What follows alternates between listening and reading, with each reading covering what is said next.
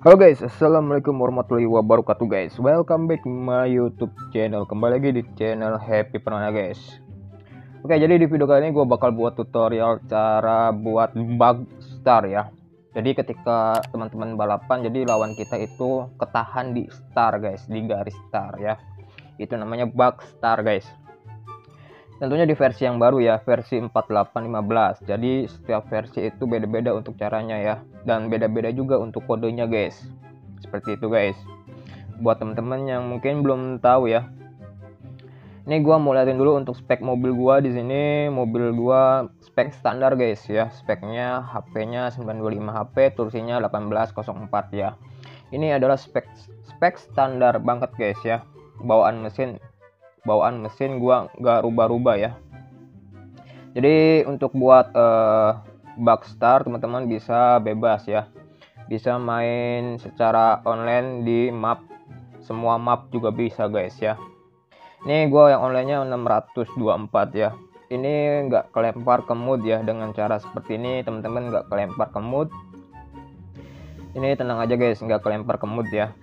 Nah, di sini teman-teman bebas mau main di map yang mana ya di semua map itu bisa guys ya dengan cara seperti ini. Gua contohin di map city coba ya. Kita main. Jadi untuk cara bug star ini itu nggak permanen guys. Jadi teman-teman ketika mau main di dengan bug star itu harus on GD harus on GG ya. Nggak permanen guys. Oke kita tunggu Oke, ini udah di dalam room di sini. Ini sepi ya di sini ya. Oke. Di sini teman-teman bisa lihat settingan gua ya. Untuk settingan gua di sini di sini pakai AWD ya. Seperti ini.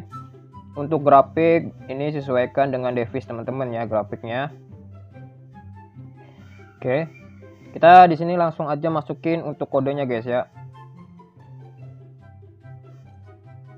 Kita masukin untuk kodenya. Kita buka GG-nya di sini pilih proses game car parking tentunya ya. Dan untuk uh, pilihan rentang memori di sini teman-teman bisa pilih yang kode app ya guys ya. Kode app checklist aja yang kode app ini ya. Oke. Jika sudah kita simpan kita masukkan kodenya guys. Kita masukkan ke nilai pencarian di sini ya. Kita klik Oke. Nah, di sini teman-teman bisa pilih jenis data ya.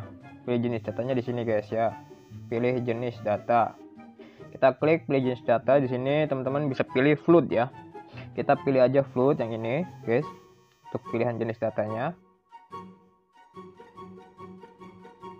Ya. Oke.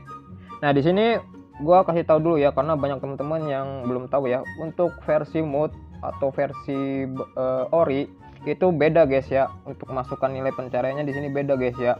Jadi ini ini itu masukkan nilai dari ini itu contoh ya. Contoh ini guys ya. Kalau misalnya di GG Mood itu uh, atau bahasa Inggris itu masukkan nilainya itu titik atau titik ya. Nah kalau misalnya di Ori itu masukkan nilainya itu koma guys ya.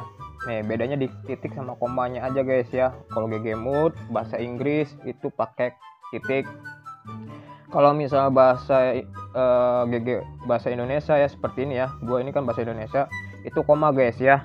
Nah seperti itu bedanya ya. Jadi banyak teman yang belum tahu ya untuk cara pakai GG ya.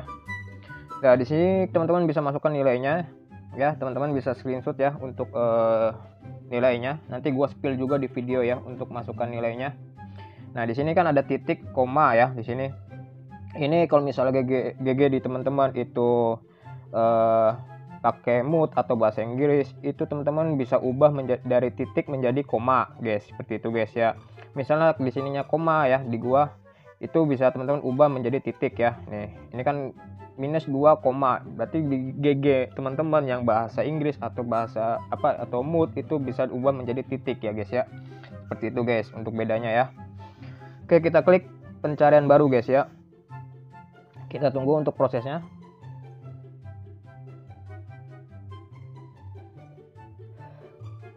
Oke, untuk nilai pencariannya sudah ditemukan ya. Ini ya. Menjadi tiga baris seperti ini guys. Kita akan hapus e, baris yang terakhir ini guys. Caranya untuk menghapus teman-teman bisa klik yang ini ya. Yang logo pencarian lagi kita klik. Kita hapus beberapa angka di sini guys. Angka yang paling ini guys ya. Nih, kita hapus yang ini ya. Dari minus 8 ya kita hapus ini sampai 0. Kita hapus kita delete. Nah seperti ini nanti hasilnya menjadi seperti ini ya guys ya. Oke. Di sini teman-teman bisa klik memurnikan ya. Di tahap yang ini kita klik memurnikan ya. Nah nanti akan hilang ya. Otomatis akan hilang ya. Yang tadinya tiga baris menjadi dua baris guys. Seperti ini. Kalau udah menjadi dua baris seperti ini teman-teman bisa langsung aja edit. Editnya di sini ya. Kita edit di sini kita langsung masukkan nilainya. Nanti gua spill juga untuk uh, nilainya ya. Nah ini ya. Untuk uh, teman-teman editnya ya. Nanti gua spill di video guys. Oke jika sudah kita klik ya atau yes guys. Nah ini tinggal teman-teman bisa main ya. Ini teman-teman bisa main bisa balapan ya. Nih gua contohin ya kita coba uh, ini ada orang nggak? Oh ada. Kita mau nggak ya? Teman-teman bisa langsung main aja guys ini. Ini sistem bug ya. Bug star. Walaupun teman-teman logout dari GG juga bisa guys ya. Nanti gua contohin. Karena ini sistem bug star ya. Jadi khusus untuk balapan aja guys. Oke mana nih? Ada yang ngajak balapan tak cok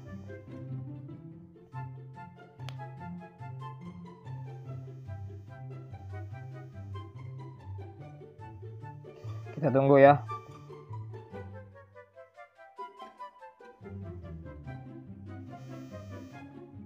Kita tunggu guys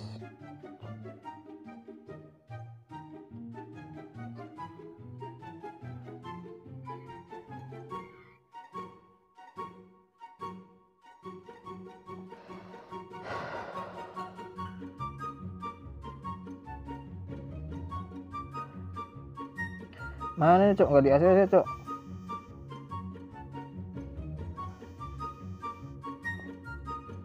Two thousand years later.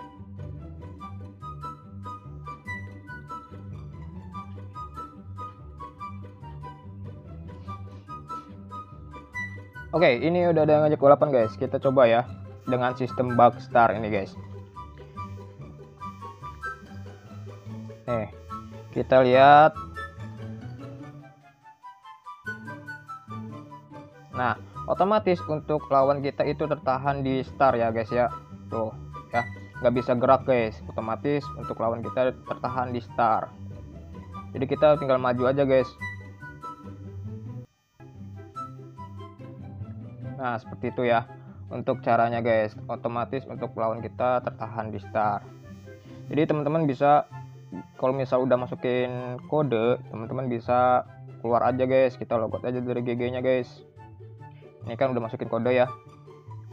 Kita logout aja dari GG nya gitu guys. Lalu kita coba tes lagi guys. Waduh.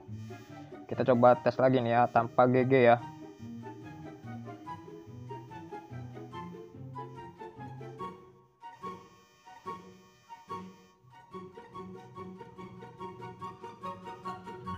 Kita coba tes lagi tanpa GG nah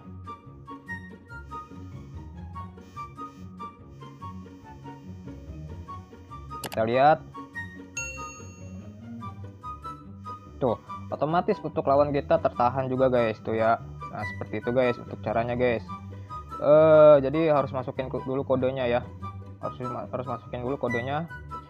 Otomatis untuk lawan kita tertahan di start guys. Oke mungkin gitu aja guys. Video dari saya jangan lupa di like di subscribe dan di share juga guys. Sampai ketemu di next video guys. Hello.